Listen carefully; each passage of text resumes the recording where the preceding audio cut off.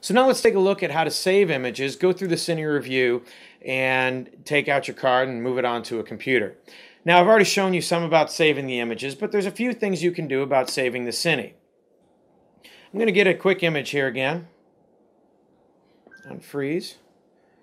And I'm just going to move the probe around a whole lot. I'm going to freeze that image. Now, like other ultrasound machines, it has a Cine Loop review. We set this at 20 seconds earlier in the um, in an earlier lesson where I showed you how to set the 20 seconds. So I didn't use the whole 20 seconds, but if I want to scroll back through, there's a few different ways I can do it. I can use the stylus and click here, which is kind of a pain. I can use these hard keys and scroll through here, or just hit play and it'll play it from beginning to end. I can hit pause or I can use the stylus here to scroll through the image to get to what I want. Let's say I want that image. I can hit the save key, and when it's ready, it's going to say image saved successfully. Let's say I want to save that Cine Loop review. I have to hit play and let it run. And while it's playing, if I press the save key, it's storing that whole Cine Loop video. It's going to give you the progress, and when it's done, it'll be saved to that uh, SD card, and you'll have it for review. Now, it saves it in the MP4 format, which is um, something that you can use for web, and you can look at it on your computer with uh, QuickTime, and some Windows players will show that as well. The other images, the static images, will be saved as JPEG, which can be viewed on any PC as well.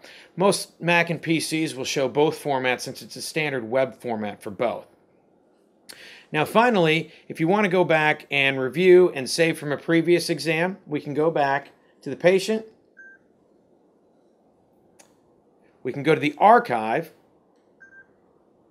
We can select previous patient. We can hit review or resume to resume that. And here we have images from a previous. I can go scroll through those files by hitting next file. I can delete those images or I can close and go back.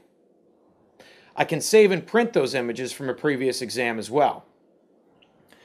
And when you're done with those, there's no need for a standard export because when you save them, it goes to the SD card. So if you want to take these images from a previous exam, open them up, and if it's a Cine Loop, you'll just play that, hit save, it'll go to the SD card. If it's a standard JPEG, just hit save, it'll go to the SD card. You can also connect external flash drives like a USB flash drive or something of that sort to save those images to a separate file.